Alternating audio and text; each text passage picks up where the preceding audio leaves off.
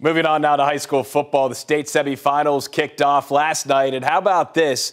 We've got three area teams still alive Westlake, Liberty Hill, and Wimberley, all just one win away from playing for a state title. The Chaps battle North Shore 2 p.m. this afternoon at the field out in Pflugerville. Last night at the field for a D2 state semifinal between Bellville and Wimberley. The Texans yet to lose this season, thanks in large part to this guy right here. Yeah, junior quarterback Cody Stover, the stove, sizzling.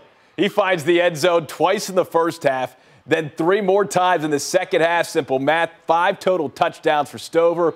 But the Texans defense just didn't have enough answers for the Bellville offense. The Brahmas, they remain undefeated, stopping Wimberley from getting back to state 35 33.